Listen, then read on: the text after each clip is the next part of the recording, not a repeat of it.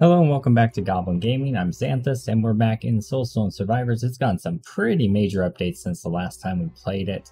Unfortunately, those updates did drop the same week as Diablo 4 released, so haven't really had much a chance to play this game since then, but there's been a major overhaul to the game. The runes have massively changed. There are now skill trees for about half the classes in the game, which is pretty cool. You don't really have to make any meaningful choices. If you've played enough of the game, you can just pretty much get everything. And that's fine, that's no big deal, but it does add a lot of depth and identity to each character, so it is kind of a unique thing. Pretty cool. Today we're going to be looking at playing the Paladin, and his unique mechanic is the Divine Inspiration mechanic basically what's going to happen is on the battlefield every so often you get these yellow circular uh, beams that slowly close in similar to like the healing spell and if you stand in it you accumulate this divine inspiration resource once you max it out you get a bunch of different buffs we've just taken everything the other stuff on the skill tree is a lot of things that increase disoriented and dazed damage a lot of things that increase crit damage and crit chance a few things to increase toughness and pushback resistance and some healing type stuff. So we're going to try and lean into that whole mechanic as much as we can. We are not going to be taking vulnerable exploit uh, because it's contingent upon stacks of dazed and disoriented, and while we will have massive amounts of those at any given time, why not just take something that you know is giving us an always benefit like multicast mastery or crit mastery instead? So that's what we're going to do. We're going to take reroll mastery as well so that we get lots of rerolls so we can fine tune our build the way we want to we're going to take a new rune called adrenaline which gives you uh, increased cooldown reduction increased cast frequency basically as you lose health the idea behind this is we're going to give ourselves a big buffer of health, and then as we lose health, we'll cast faster, and as we cast faster, we'll heal back up faster because we're going to be taking Exorcism for the self healing. And then we're going to take Skill Mastery Electric, specifically so we can unlock the uh, swing from Barbarian called Thundering Slash, which leaves an area of effect on the ground that quickly accumulates dazed or disoriented on the target. Um, oh wait, not Thundering Slash. Uh, no, it's not it. It's it's Electric Swing or something like that. It leaves a, an aura on the ground that does dazed effects. Uh, it should help scale our damage with our uh, secret weapon, with our new weapon for our Paladin, which is going to be the Dawnbreaker's Mace. Fisher Strike applies dazed. The secret weapon basically scales damage based on number of stacks of dazed. So we're going to go ahead and hop on in. Uh, I'll pause and unpause at meaningful points and just show you little snippets of gameplay. And then we'll show you the build when it's fully online. And then we'll show you some endgame stuff. Now we are of course playing on max difficulty, max curse. Everything is enabled because I mean the game's kind of boring otherwise. That's kind of one of the main points to this game is it adds a lot of fun mechanics to dodge.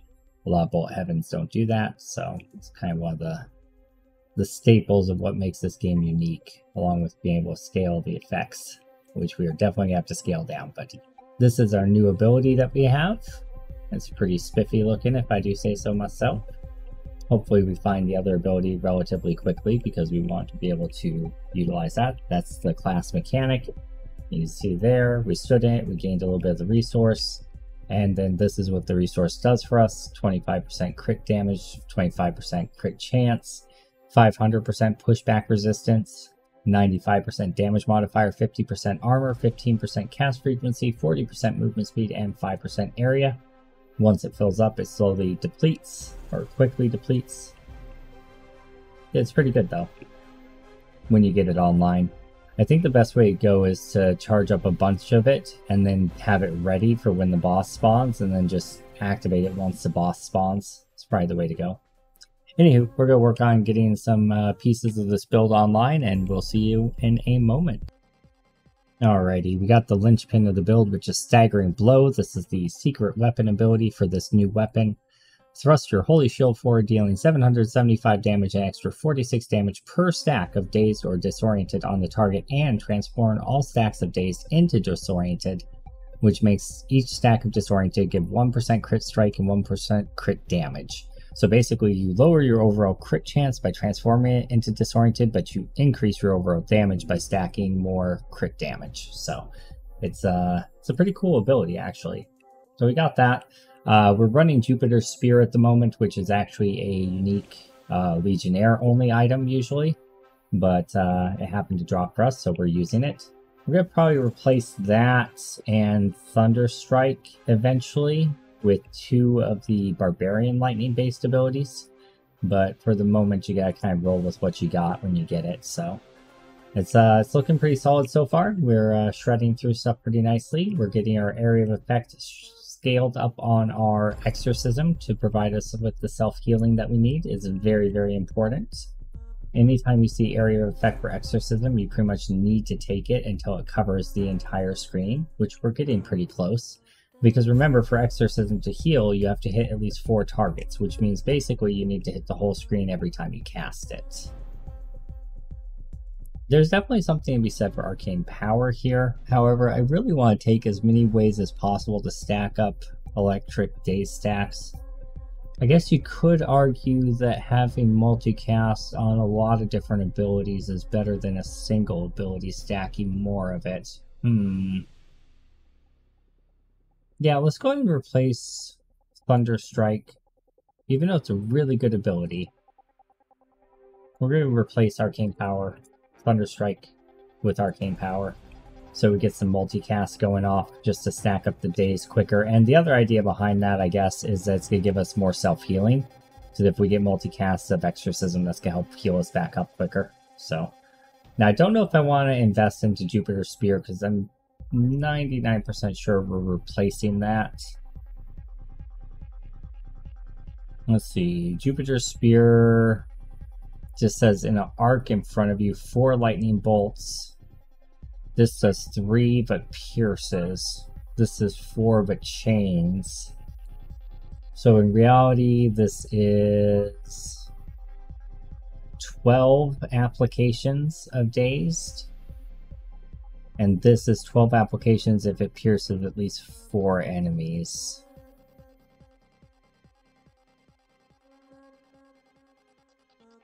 Hmm. Yeah, I think Fisher Strike is actually better than Jupiter's Spear, but I'm not quite sure. It is a lower cooldown as well. The nice thing about Jupiter's Spear is it's got arc out in every direction. It's going to automatically hit targets every single time versus Fisher Strike might not sometimes. So you know what, maybe we replace Fisher Strike eventually uh, with the Barbarian specific electric ability. Let's go ahead and invest into Jupiter Spear because I think we're going to keep it after thinking it out a little bit. Okay, I'm going to go ahead and build up some more power and we'll cut back at a uh, relevant point, maybe on the last set of bosses for the first stage of Endless so you can kind of see where we're at.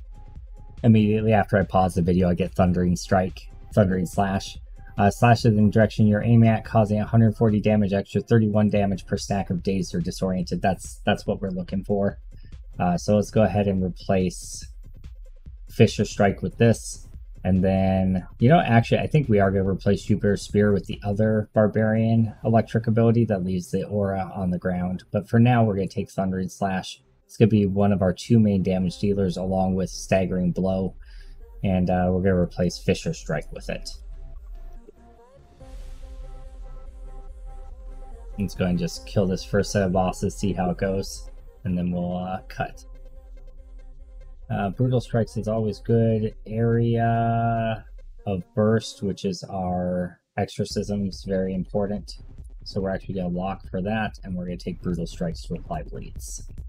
Because why not? Taking some significant damage there, but good thing is we heal it right back up with our exorcism. We just got to make sure we don't stand in the death from the, from the Reaper dude. Uh, let's go ahead and lock out the multicast for frontal. Grab both that as well as more area of effect on our exorcism, and we are sitting pretty. These bosses really didn't do very much. Uh, we took a lot of damage, but we healed a lot back up, so yeah, I think we're going to be perfectly fine on this build. Alright, we're doing quite well. Have not managed to quite get full uptime on the arcane power yet, but we're real, real, real, real close to that. Uh, we've also managed to scale up the damage of our two main damage dealing abilities quite significantly. So we're hitting pretty much like a Mack truck at this point. Have not found the lightning slash that leaves the area of effect on the ground yet. Uh, that's definitely going to be one we're going to want to find eventually in order to get this build fully online. But yeah, I mean, we're doing pretty good. As you can see there, I took 200 damage and instantly healed it all back up more or less. So uh, you can definitely still get one shot if you're not careful. So we want to be building, there it is, overcharge strike. We want to be building uh, HP and block and resilience whenever possible so that we can mitigate one shots. But as long as we can mitigate one shots, we should be able to scale pretty far into the end game here. Now the question is, do I want to replace Chain Lightning or do I want to replace Jupiter Spear? I honestly think Jupiter Spear might be a little bit better than Chain Lightning. Chain Lightning is doing a whole lot more damage though, it looks like. Jupiter's Spear is probably applying more stacks of Dazed, and that's the main way we're scaling our two damage dealers. It's a little bit of a hard call because I'm not quite sure which one scales the day stacks more because it says four lightning bolts that jump to three additional nearby targets. Now, does that mean each bolt jumps three times or altogether it jumps three times? Because the difference between 7 and 12 is pretty significant as far as dazed applications goes, right? This one is 7, jumping to a nearby target if possible, which brings up to 14. So strictly speaking, this one should be better, unless it's saying that each lightning bolt jumps three additional times, in which case this one would be way better. I'm not quite sure. We're going to go and just replace Jupiter Spear and just pull the trigger on that. But now we have the area of effects on the ground stacking up dazed everywhere. And we're definitely going to have to turn down our graphics because holy cow, is that going to get super spammy. But that is the end of the first round. We did it in 7 minutes 52 seconds, so semi-decent time. Not amazing, but not bad either. So let's go ahead and just start jumping into Endless mode and see how it goes. We'll uh, swing back towards the end of Endless round 1 for you guys. Alrighty, so we're doing pretty good. I accidentally stood in several different Reaper effects and almost killed myself. Took away both of my cheat deaths, so... Did kind of hamper myself there, but I think we're going to be fine. I just ate a bunch of damage as well, walking straight into a fire beam while I was unpausing the recording, but again, this build is super tanky. We should be fine to go into at least Endless 4 or 5 with it, so... As you can see, it's kind of Shrekin right now. We'll go ahead and turn on the graphical effects so you can see what's actually going on, but it's it's kind of nutty. All right, let's see. Uh, let's grab. Ooh, yeah, I like more cooldown reduction for sure, for sure. Yeah, check it out. It's actually crazy, right? All right, we'll get into the beginning of stage two endless and show you what it kind of looks like here. But yeah, this build's uh build's turning out nicely it's uh, working pretty well.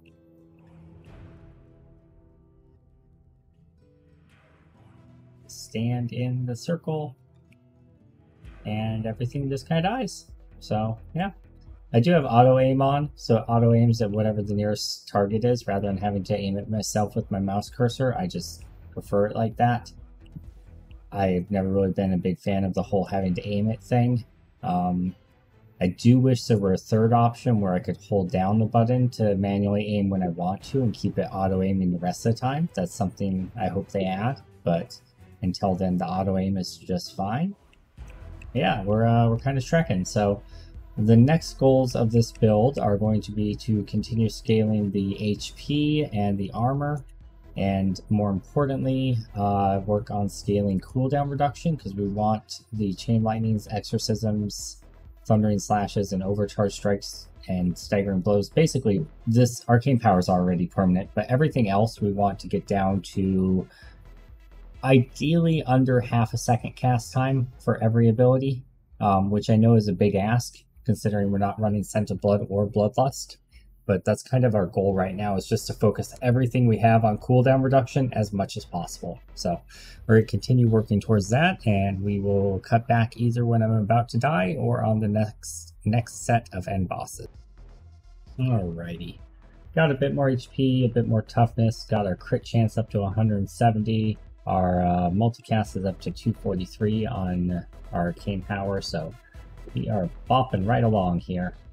We currently have the class mechanic activated for the extra damage and resistances and everything else, so we're going to try to continue re-upping that whenever we can by driving that uh, circle on the ground whenever possible. Not that it's really going to matter because these guys are going to be dead so quickly it's not going to be funny. It's actually happened before I even finished my sentence, so Alright, there are the four bosses for that round. That's kind of, it's kind of nuts. Uh, let's grab more damage on our Thundering Strike. That sounds great. Uh, yeah, presently our Overcharge Strike is actually doing quite a good deal of damage. Uh, same with our Thundering Slash, but the real just mind blower is Staggering Blow. That hits for a whopping 2500 plus an additional 152 per stack of days they're disoriented. I don't know how many stacks we had on those bosses before they died, but I'd imagine at least a couple hundred. So that's that's a lot of damage.